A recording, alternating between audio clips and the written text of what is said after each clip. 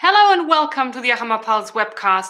And sorry for the short delay due to technical issues, but now we are here with you and we're looking forward to another webcast where we discuss the trends that shape and change the process industries. And you can be part of it. Just join via Slido with the hashtag ACHEMA Pulse, ask your questions, and I'll take them right to my expert and we will take them into our discussion. Everything's going digital, not least ACHEMA. ACHEMA Pulse is online already. The platform is open, and we're looking forward to meeting you there. But we're not the only ones striving for more digitalization. The chemical industry and the process industries in general are doing so too. But what is digitalization really about? Is it just about introducing some smart IT system, systems, or is it much more? Well, I think it's a larger journey, a longer journey with a lot of steps. And one company that has embarked on this journey a couple of years ago already is Solvay. And it's my pleasure to talk today with the global head of digital operations at Solvay. Welcome, Thierry Cartage. Welcome, everyone. So it's a pleasure for me to be invited today to tell you uh, our journey towards the vision we have of the plant of the future. Thierry, we are really excited to hear more about it. And as I just said, digitalization is more than just some smart IT systems. And you told me it's much more than artificial intelligence as well. So could you describe the journey Solvay is taking? What is your path towards digitalization? So I have a few slides to go through uh, our journey. And so, yeah, that's yeah, perfect. So I think that for us, as you explained, it's really a journey. It's not only a technical stuff. And we started by building our vision. You know, a, a collective exercise with many people from the industrial site. And for us, the vision is that the future, the plant is something that uh, really is uh, emotionally positive for people. I mean, we have to be proud working in a chemical plant. So uh, security of the people accessing the site, the security of the infrastructure is key, but also the respect of the planet. So you see all this sustainability aspect is there. Of course, it's uh, a, system with lots of components, so everything has to be under control, and that's where you will find lots of artificial intelligence capabilities, so predictable, reliable, and so on. But you also see, and, and the COVID was a good lesson for us, how fast the world is changing. So we need to be more agile, more flexible to be able to answer to an ever changing world. So this is really the vision we have for the plan of the future could be 2030. And so starting from there, we look together, how can we create value? What are the uh, driver for this digital transformation? And this is a number of them. Of course, we all think of asset performance, uh, how to increase the yield, throughput, quality, and there, of course, you all think of data analytics, and that's where artificial intelligence can be a cherry on the cake. But of course, also working on the asset network within the sites or across the sites, and all the logistics aspects and dynamic optimization algorithms. If you look at the maintenance, we need to be more data based to give the asset reliability uh, good enough, and then you see all the predictive maintenance aspects. Don't forget the digital workforce. They are still and they will be part, a key element of the plant of the future. And the interaction between human and technology is a subject of interest. And at the last, you will find all those technological inventions like robotics, robotics, drone, 3D printers, and how to connect all those ones. And the value creation for us is not only cash. It could be safety, it could be working condition, it could be, uh, you know, uh, on time in full for delivery. So all those aspects have to be included in, in the journey. And when we look at the transformation, because for us it's a real transformation, it has to go along three main pillars. Of course, the technical systems, so all the algorithms and all the computers and the uh, you know, in Internet of Things, anything like this. But as any any uh, you know, high level sportsman, you need to measure your performance to understand where do you improve yourself and the plan. And this is performance management. And it's also important to measure that. And the last but not least are the people themselves, the mindset, the behavior. Because if you don't improve, then you make a transformation, but it's not sustainable. And what is new compared to lean management that we were uh, activating 10 years ago? It's the data. All the richness of data that we now have in our hands. And looking at the data, what we have found is, in fact, in our classical, uh, I would say, education, we have new profiles appearing. So if we simplify and, and you look at the, the three uh, bullets here, uh, you see uh, on the bottom the domain expertise, process, process control, engineers, scientists.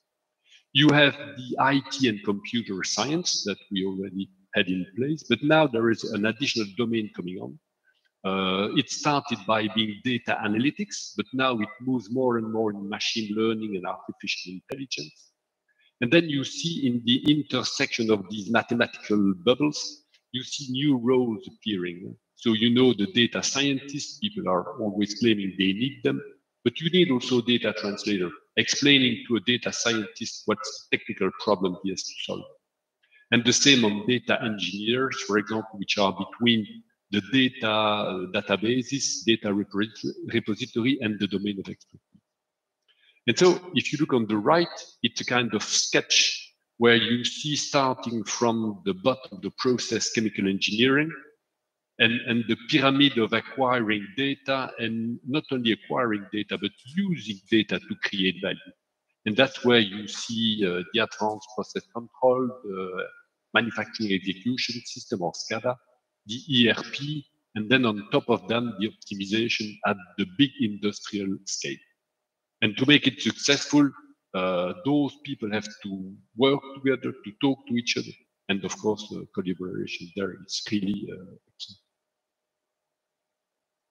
So this, this is more or less the sketch of, of the transformation. So we started in a number of sites, and now we are scaling up to deploy those methodology and, and uh, lessons learned in uh, more and more sites uh, of the Sobeco. Okay, this was a general presentation, so uh, happy to answer the questions you may have. Great, Thierry. Thank you very much. And I think it's a very systemic approach that you're taking here. Um, a lot of aspects in there. If you have questions in the audience on this concept, on the road of Solvay towards digitalization, post them on Slido and I'll take them right here. And I start, Thierry, you have described the vision that is at the end of your journey or of Solvay's journey towards digitalization. How far would you say are you on that journey? Well, what I did here is really to focus the journey on, on the digital operations. At the same time, we are starting an equivalent journey on the customer engagement model, because customers, of course, are key. Without customers, we wouldn't be there and also on the on the connected research part. Uh, so we we are moving ahead huh, with uh, in 2016 building a vision, 2017 launching a number of proof of concepts, but already in 2019 building a methodology and deploying in a number of sites. And we have gone through a, a real transformation of above 20 sites, 20 industrial sites. One of the lessons is that you can't jump from, let's say, level one to level four at once. You have to do it progressively. So we move from, uh, I would say, no culture on data to a good culture. And then next time you, you move ahead to another level. So you have to take one step after the other. There's exactly. no such thing as a complete turnaround. Otherwise, it's, it's uh, the gap is too big for people. They, they need to be acquainted to using data more and more, using mobile devices. And once they use it for a while, then themselves they come with propositions asking new uh, applications and new ideas and then you can climb to the next level are these also the main hurdles taking people with you or is it more a technological thing what what were the basic barriers that you met well in fact we, we have defined five main ingredients uh, that i could detail maybe next time huh? so the five ingredients if one of them is missing in fact you cannot succeed but of course, you have the basic infrastructure. If you want people to have the right information at the right time anywhere, you need mobile devices. You need 4G, maybe 5G in the future. So if you don't have that one available, okay, you have to invest. But once those infrastructure are in place, you need to bring people to the right level. Hmm. And that's uh, probably one of the big difficulties to create those multidisciplinary teams, having them working together and, and create a dynamic of, of uh, progress along those data and machine learning systems. That's where the first question from our audience comes in as well. Um, as you mentioned, the importance of people. How do you deal with the fear that artificial intelligence and digitalization might make humans superfluous? I might lose my workplace if I'm going digital. Yeah, I know that that's certainly one of the first questions that is coming from the trade unions. But I guess that the way we did is to embark everyone in the journey since the beginning. So when we go to a new site, the first thing that we do is a digital awareness session. And for two hours, we bring all the teams from the site, one by one, across that training, explaining that what we have done elsewhere, showing them what will change in their own life, because nobody wants to make the same, you know, repetitive action day after day. So yes, we can release some of those painful actions uh, and once they understand that what we want to do is to grow together, that we will upskill the people, that there will be lots of training for them, then they are part of the journey. Hmm. If you have more questions, just post them. But I want to ask a question that might be a bit unusual, maybe, but we're always talking about hurdles. Did you encounter any unexpected benefits? Yes. In fact, it's funny, eh? but in most of the cases in the past, industry was ahead of the rest of the, I would say, the population in terms of technical device and so on. But once we started in 2017 proof of concept, and we were a bit afraid introducing, you know, tablets and smartphones in the plants, and saying, okay, we will have to train people how to use it. And in fact, we were completely uh, against the, the, real cases. I mean, people are all using smartphones at home. And so when we told them, yes, you will have to learn, they say, no, no, don't, don't teach me. I know how, how to do it. So uh, I, I, my question was, when will I be able to use apps during my work time? so that was a, a real surprise. And so many people were happy that at least they were able to, to do uh, those types of interaction that they were used to do at home. Mm-hmm. Yeah, I never thought about that actually, but it's true. We're getting used to using our smart appliances everywhere. Why not at work?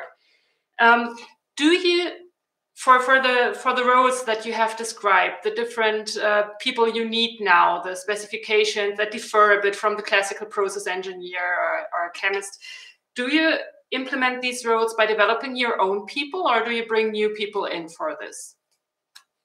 That's a very good question because it's it's not so easy to understand what are the specificities of some of those roles.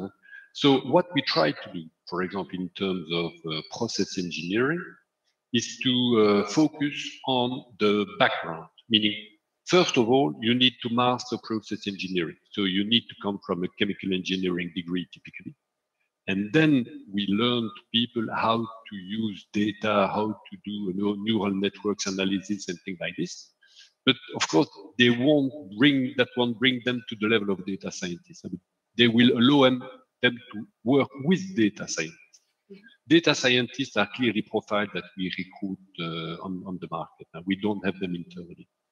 So it's really a mix of internal upskilling of people with the correct background and recruitment of external specialists in, in some of those fields.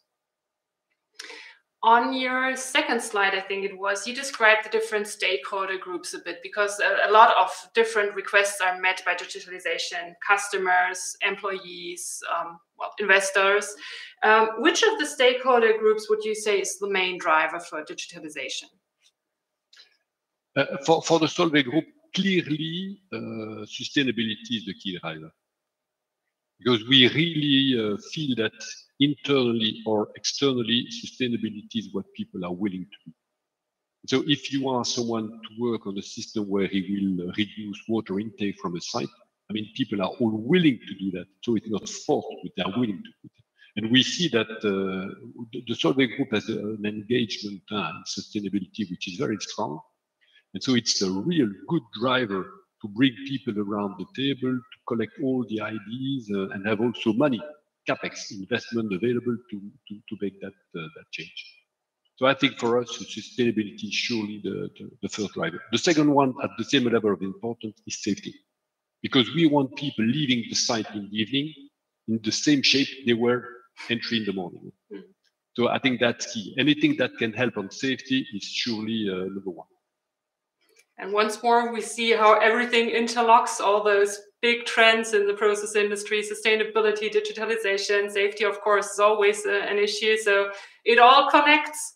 Thank you very much, Thierry, for this insight into Solvay's journey. And we will learn more two weeks from now at ACHEMA Pulse. I'm really looking forward to it and to hearing more details, asking more questions, answering more questions. So see you there. Thank you very much for being with us today. Thank you very much, Catherine. And for all of you who still have questions left, ACHEMA Pulse is the chance to ask them. And you can sign on the platform right now because it is already open. Just go to the ACHEMA website, get your ticket, and start exploring the wealth of information you find there from over 900 exhibitors. And on 15th and 16th of June, we have a fireworks of live events, discussions, panels, talks. You can ask your questions. You can join the discussion on all the topics that we covered in the webcasts and all the topics that concern the process industry. So I'm really excited to see you there at ACHEMA Pulse.